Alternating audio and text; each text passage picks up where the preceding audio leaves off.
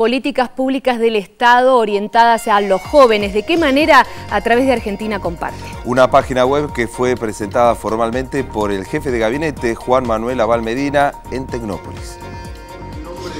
El jefe de gabinete, Juan Manuel Abal Medina, presentó el nuevo portal web del Estado, Argentina Comparte, dedicado íntegramente a los jóvenes que lo que busca es básicamente que todos puedan acceder a las distintas políticas públicas del Estado de una forma fácil y amigable. Entrar a este portal es conocer cómo son las becas, cómo se acceden a las becas, cómo se hacen trámites de una manera más simple, cómo se accede a derechos, la justicia, las oportunidades laborales. Es parte de la tarea que nos viene encomendando la presidenta de hacer que las nuevas tecnologías sirvan para reducir las desigualdades y no para crear nuevas desigualdades, ¿no? Hacer un acceso más fuerte de todos y todas a estas herramientas de conocimiento para que todos podamos ser un poquito más iguales.